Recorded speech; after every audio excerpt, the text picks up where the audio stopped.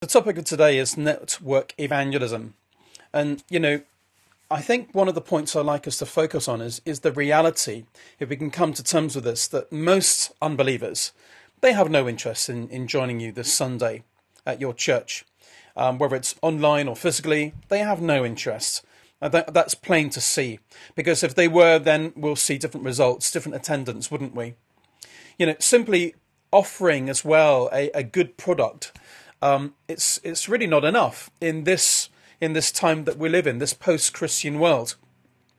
And it really does not matter, you know, um, how cool your your your venue is, um, how good your music is, how tasty the coffee and donuts, if you have such things, how, how how good that is, or how hip and trendy your pastor may may may look. You know, unbelievers who who do not show up, uh, you know, that that, that's for a very good reason. They are really not interested. Now, the unbelievers that, that do show up, uh, well, I'd like to suggest that's because someone has, has actually befriended them beforehand. You know, somebody has actually invited them from outside the church walls. Um, you know, most outsiders, you know, that they aren't just, you know, waking up saying, oh, you know, I think the coffee is really good in that church. I'm going to go along and have a taste. No, they couldn't give a blast, actually. Um, and that's the fact. You know, they're, they're not saying to themselves, hmm, you know, I, I think that, you know, the music over there is really great, so I'm going to go and check it out. You know, I'm going to go and visit. They're not thinking like that. For us in our ministry, um, amongst our network, you know, as kingdom builders, you know, we always have to emphasize, in fact, overemphasize evangelism. Um, and it, you know, it's a challenge for us to be both missional and also pastoral at the same time. You know, there's a real balancing act there that needs to be done. And that's a, a real tension that exists, you know, from the founding of, of any ministry, any church, actually. That balance between missional and pastoral. There was one church uh, planter who recently told me that, you know, I've only just got started and I'm already having shepherding issues. And, um, well, I'm not surprised, not surprised at all. But, you know, if a church is to flourish, then be under no um, mistake. Evangelism has to be prioritized. If, the proclamation of the gospel must be the central um, part of, of the life of the church. Now, you know, it's interesting to look at, you know, the models of evangelism that are there right now in your churches and around the world. Now, in, you know, years gone by, there are largely two forms, I think, of evangelism that have been most common, without a shadow of a doubt. And the first one would definitely be the the event evangelism. Uh, you know, um, where people are coming along to hear a speaker and Hopefully, the speaker will share the gospel. Um, and of course, the other type would be the cold call evangelism, whether that's, you know, doing a mission on the streets, knocking on somebody's door, um, just, you know, going in cold, that type. And, and you know, uh, when people hear evangelism today, they often think of, you know, either big events, uh, crusades, or literally the, the door-to-door outreach. And I really believe that um, they're both fantastic. We we got to keep going, keep on organising events, keep on knocking on doors, keep on you know going in cold, you know using whatever methods. You know we must never be in the business of of of uh, diminishing or rubbishing any particular method that is out there. Um, I think the Lord Jesus has used both of these approaches, and in some contexts, you know, they continue to be very, very effective. You know, let's keep keep going with these these two approaches.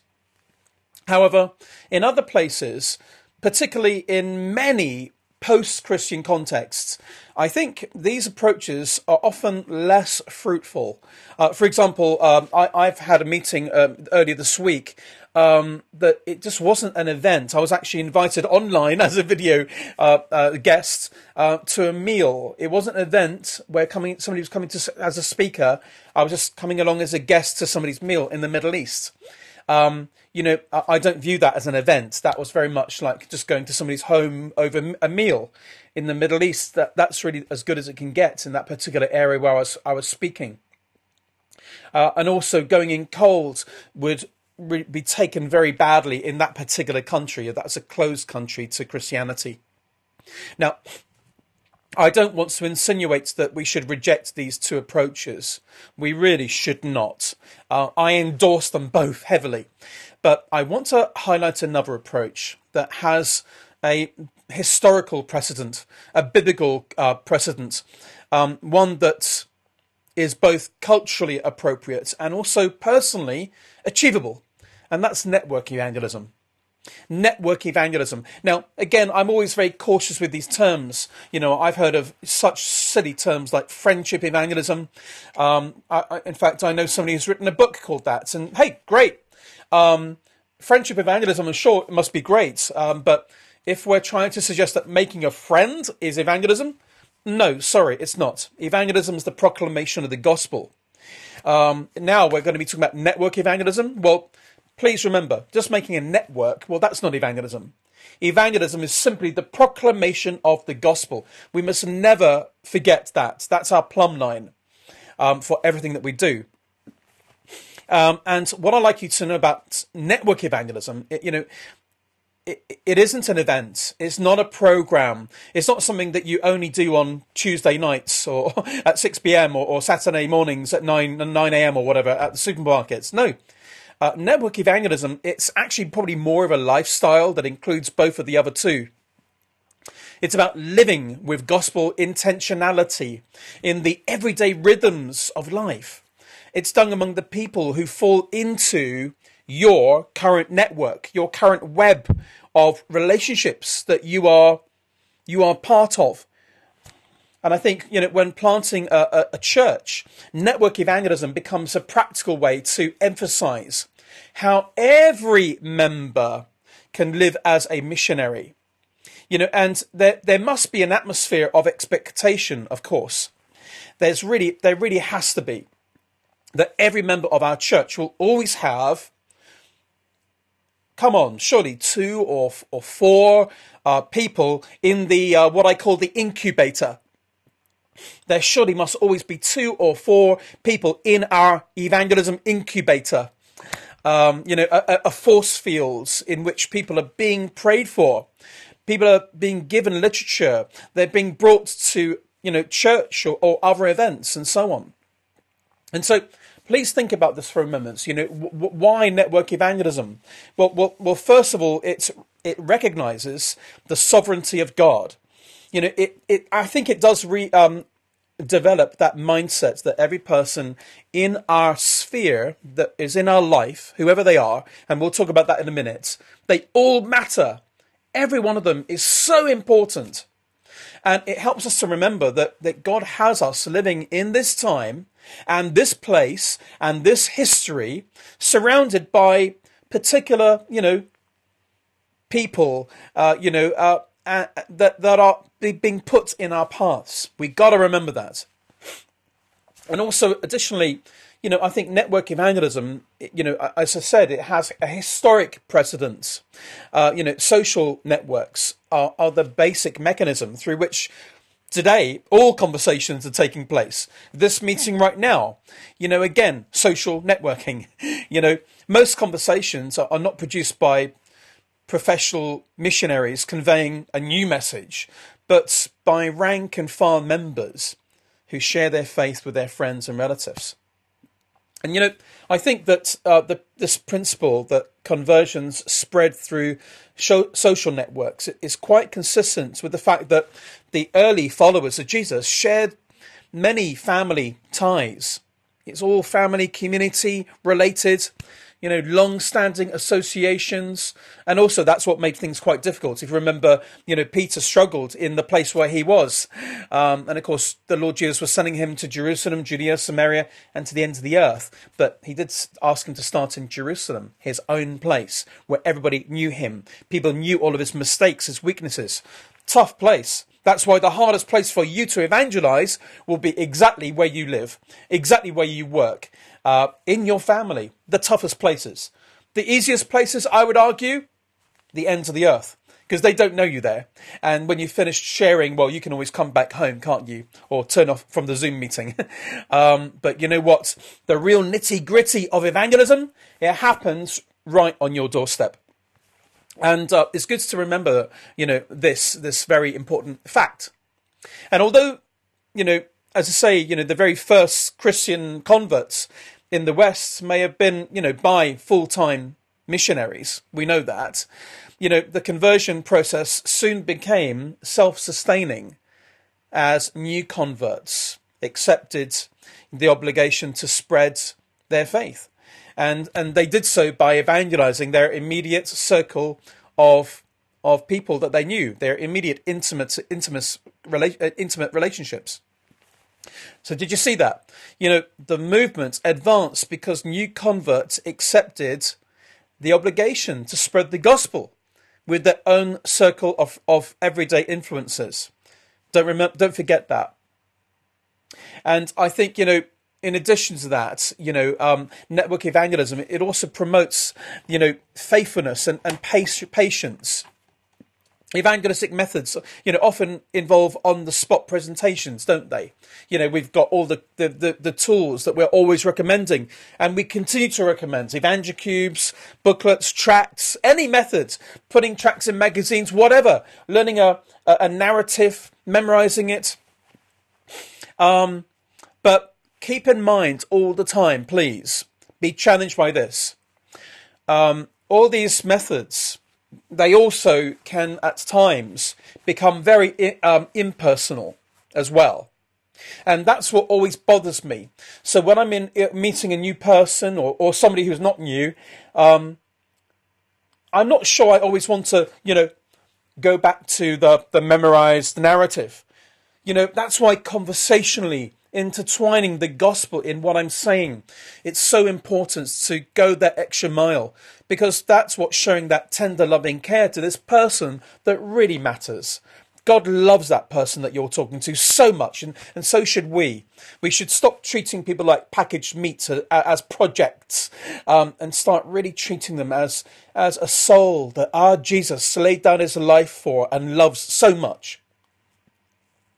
Um, you know, and I think we've got to, you know, be challenged by this. You know, let let's uh, let's move away from this whole mentality of generating numbers. Oh, another person. Oh, so many people responded. Oh, you know, we are numbers generated, aren't we?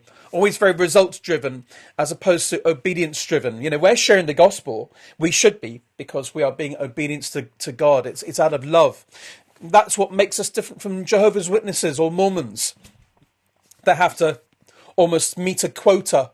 That's why they got to knock on the door and like, you know, here's something for you. I don't want to take anything from, from you, but here's here's the agenda. Listen to me. I'm not listening to you, and off they go. Door number two and door number three, and they keep a log. no. You know what? Uh, you know, we, we, we're to love our community, our network. We're not here just to check a box or appease our guilt and then move on.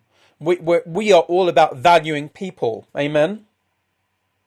And so, uh, you know, when when you are reaching out to the people, that people that you also that you're seeing regularly, uh, it demands a whole lot of faithfulness, doesn't it? A whole lot of perseverance. And you, I think that you know it's important that you and I can can do the the pre-evangelism answer questions, you know, slowly and and, gradually watch defences go down in people as we're as we're dialoguing and engaging, and hopefully, by God's grace, we will see our, our friend, our family member, our, our co-worker, our neighbour receive the Lord Jesus. And, and that's really all we want to see. We just want to make sure that they do not get to hell. We gotta make sure, we gotta make sure they get to heaven. Come on. You know, didn't Charles Spurgeon say, well, if they got to go to hell, then good, at, least let them climb over our bodies to have to get there if that's where they're insisting on going. And uh, I, agree with him wholeheartedly. Let's do everything we can just to put the message in the most professional, loving way to people. And so, my question to you is who is in your network? Now, of course, all this stuff you know already, but but you know, uh, someone once said we we when we learn, truly learn, we are putting into into words what we already know and or what we already should know. And I think there's some truth in that. You know what, what I'm going to talk about now. You know who's in your networks, but let's really put it to the bring it to the surface so we can highlight this and stop avoiding it and covering over it and skipping over it in our life. Um, because we could organize our, our, web of relationships within five categories. You know, uh, and, and I'd like you to really please focus on this um, and take it away as a sort of homework, a personal challenge, a personal um, devotional exercise this week where you can literally, literally make a piece of paper. I mean, I know we've come up with these lists before. Churches have over the years, you know, make a list of your family members, make a list of your work colleagues. But come on, let's stop being so nominal and, and token about this. You know, we want to break down into familial network, geographical nef- network, our vocational networks, our recreational networks, uh, and even our commercial networks. Now, what do I mean by this? You know, let's start thinking who are these people? You know, we've spent months trying to train and equip and encourage you all in how to evangelize and what is the gospel. But now, who are the people that we are now going to be focusing on and targeting? Who are the people that are in our networks that we cannot overlook because now we value them? Yeah? Well, the first one will be familial network. You know, obviously, the people in our family. You know, who are those people that really have not committed their life to Christ? Immediately, straight away, that list should be immediately there. You know, their names, their locations, everything about them, your relationship. Is it strained? Is it difficult? Is it completely broken? Right. There's, you know, we're going to look at some action points of how to tackle that. They could be distant cousins. They could be people that are not actually blood related to you. They could be people that, you know, can be considered as you're treating them almost like family. These types of, you know, family people, whoever they are. Uncles, aunts, children, brothers, sisters, mothers, parents, the lot. The list is endless. You know, come up with some names that you're going to be focusing on that you're going to start making it your business to share the gospel with them before you die. How about geographical network? You know the people in your your neighborhood. You know um, th- these are people your next door neighbors. You know sometimes our neighbors it's interesting but it can be like reaching the ends of the earth. You know you sometimes don't even look at each other. Or there's those other neighbors yep you love each other. First name basis wonderful. But what about the ones that are not? You know what's the strategy to reach the people in your geographic network? Um, a third area would be vocational of course you know, the people at your workplace, or like if you're a student, the people in your study place. They could be colleagues, they could be um, people below you, above you, managers, anybody, ex colleagues. And then the next area would be recreational network. Okay, we've got a picture here of people jogging. You may not be a jogger. That's okay, but what, what do you do when you're relaxing? Even if you're sitting in a coffee shop having a, a coffee, a tea, whatever, glass of water, you know, there the people that you tend to meet on a regular basis, the recreational network. And finally would be the commercial network. You know, we're talking about shopping. you know, these are people that you're going to be meeting in the shops. They could be complete strangers walking past you. The people serving you at the till could even be your friend who's with you, who could also be a stranger as well to the Lord Jesus Christ. You know, you can start by identifying at least, you know, five people would that be too much? Or, or if that's too much, we'll start somewhere. Start with one person, two people. Come on. You know, in each of these five areas family, familial, geographical, vocational, recreational, and commercial. Uh, and, you know, if they're low in one area, area, then that's okay. Increase the numbers in another area. You know, we're not trying to skive off our, our responsibilities and duties early here. you know, we're, we're really trying to take responsibility. Now, what are we going to do in trying to reach these people? I'm just going to share these quick pointers and then we'll pray and just wrap up and, and then maybe we can spend some time really focusing on this task. Well, you know, how will you reach out to these different people that you've come up with on your list? Well, number one, share the gospel. Share the gospel, share the gospel, share the gospel with every one of them. You know, look for various places where you can sow the seed of the gospel in their life. Talk about your faith. Let your friend know that you are part of a church and, and, and see if they got any questions. You know, listen out for them. Don't, don't be so worried about what you're going to be telling them, what, what narrative you're going to be, you know, downloading. you know, you know, look at their questions, understand them. Let your friend know, you know, uh, uh, you know, that that you're ready to listen. Listen to their problems with real concern. Uh, and if they have no problems, well, listen at their self sufficiency, again with real concern, and seize the opportunity to address the problems with the gospel, the hope of the gospel, you know. Sh- share some of your own struggles and talk about how you deal with them in light of your faith. You know, somebody asks them, you know, what do they believe? And let them talk. Let them talk, and even if they're dissing Christianity, let them feel free to do it in your presence, knowing that they're not judged by you, that they're loved by you, not that they're going to just say they're going to walk, walk on eggshells around you. May that not be the case. You know, if if there's anybody who's a bit prickly in the room, I think it's probably people like me. I I, I tend to have that abrasiveness sometimes, um, especially with Christians. Is with the non-Christians, I tend to try to be a lot more softer, and and because uh, I I think I, I just feel such compassion. I do not want them to go to hell. That's my continual motivator. And in in addition to that, is that I love Jesus. He saved me. My goodness, how how can I have the audacity not to tell other people? So there you are, share the gospel. You know, another um, suggestion for you is please pray for these people that you're adding to your list. Pray for them. You'll be surprised what, what happens when you begin to pray for people in, uh, in, that are that God's put in your path. And you know, maybe you and I will experience that, you know, that joy that C.S. Lewis once spoke about. You know, didn't he say, um, "I have two lists of names in my prayers." Those whose conversations I pray and those of whose conversations I give thanks. The little trickle of transferences from list A to B is a great comfort. He was very clear about these two lists, and we need to be praying for, for those people that that are are um, need to be converted and those who are converted, those who are saved and those who are not saved. So share the gospel, pray for them, you know, another thing you can do as well on a regular basis is invite them. Invite people and be be persistent. Invite, invite, invite, invite, invite. You know, it's all for the gospel, isn't it? It's worth it. Invite them over to dinner, you know, to play sports, to have a cup of coffee, to go for that run maybe. Maybe you need the run as much as they do. You know, go to a movie. You know, come to church you know, because every interaction you have with them, yes, you could do it by yourself, you could do it with a Christian person. Isn't that much more pleasant? But no, come on. The more exposure you are having to those non Christians, the more likely they might be exposed to your Christ. Uh, you know, serve people. You know, identify any way that you can bless a person, you know, those people in your network what can you do for people? Can you babysit for them?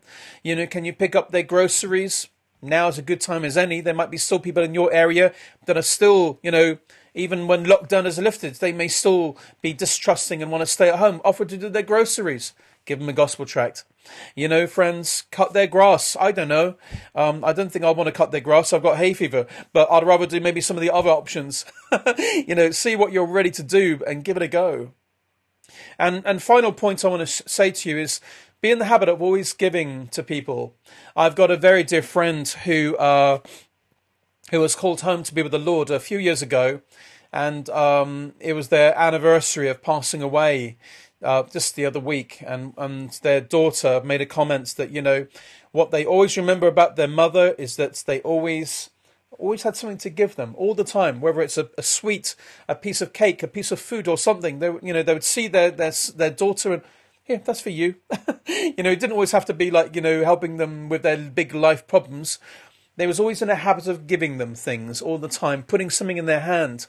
I think that's why I love gospel tracts so much because I love to give. I love it. It's just lovely to bless somebody, and um, you know, ask people, you know, um, you know, have you read this book or, or this article, um, you know, or you know, have you listened to this sermon or this podcast? You know, um, can I give you this booklet? And you don't have to talk about what's in it. It's very very simple activity. Uh, and you can just who knows what conversation can come out of it you know, and, and so I really pray that God, you know, that God will really use um, saints like you and me, um, you know, who whose love um, for the Lord Jesus overflows, um, you know, to lead people that are outsiders of the faith into the faith as we begin to live with gospel intentionality in our everyday networks. And so, please, uh, again, I just want to uh, ask you, please remember those those networks, uh, and and let's pray now. Dear Lord Jesus, we love you very much indeed, and we just want to thank you so much for your amazing love for us. Again, Lord, when we just uh, consider how you planned us, You've given us a name. You number the hairs on our heads. You, you, you know our past, our present, our future. Your love for us is, is, is unconditional. Thank you, Lord Jesus, that you have made a way for us to, to, to know you as our Lord and our Saviour. My Lord Jesus, I thank you for each one of us that have such a testimony.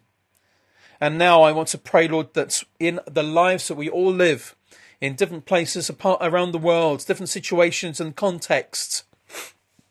Please help us, Lord Jesus, to to really organise uh, our relationships, maybe with the guideline, the pattern of, of those five categories. Help us, please, Lord Jesus, to to to focus now more than ever on our familial network. Help us, Lord, please, to bring to our minds, maybe to write it or type it, those people that are are, are in our family, re- bloods related or not, that we will have their names on the tip of our tongues, on in every prayer that we be praying for them. My Lord Jesus, I want to pray that we'll focus on our geographical network. Please help us to now focus and be alert and awake to our neighbours the strangers, people in our local neighborhood, the local stores, uh, the local petrol station, people that walk by regularly, that will go out of our way to reach out to, into their lives, say hi. Um, those people in our geographical areas. My Lord Jesus, I want to pray that we'll we'll start thinking of our vocational network, those that we work with, study with, or or, or, or volunteer with. These people, these regulars. Uh, maybe maybe whatever reason it is that we we've not reached out to them. Maybe we've we've not connected. Maybe we you know we, we don't maybe like them or something. Help us to overcome these issues this rubbish and that we would start um, loving people unconditionally that we'll start looking at people in the way you do looking them at them in terms of the, them being a creation and them having a future even in heaven or hell and that we would want them all to go to heaven Lord Jesus, help us to also look at our recreational network, people that we do hang out with. Lord, I remember the story of, of that, that friend I know who who shared a car journey uh, with another workmate locally, and they travelled to work for over 20 years, and yet they were both Christians, and none of them had even realised that because they never once spoke about their faith, and yet they discovered later when they, they met at that meeting that we had, well, I pray that we'll have less of those situations because we are vocal, that we are having those conversations, that we'll make it known, but in a loving way, that we are believers, but that we'll also be listeners, that will be will be really um, effective evangelists. And my Lord Jesus, also finally that, that commercial network. We all go shopping one way or another, even though so much of it is done online. My Lord, at the supermarkets, when we're going out to buy our t-shirt, our socks, whatever it is, shoes, haircut, Lord, at the barbers, Lord, um, the petrol station, all these places, whether they're people we know or don't know, the person that we see regularly, people that that value us as customers, that we would we would also look at those opportunities, Lord, to to share the gospel, to pray for them, to invite them, to to, to serve them, and and Lord, to always be armed with gospel tracts and resources to to give to them. My Lord, I pray already for all these people that all of us now have already had names come to our mind. People. And I pray, Lord, for the salvation of every one of those today. And that we may do something about it in this day and this coming week and for the rest of our lives. We pray in the name of our Lord and Saviour Jesus Christ. Amen.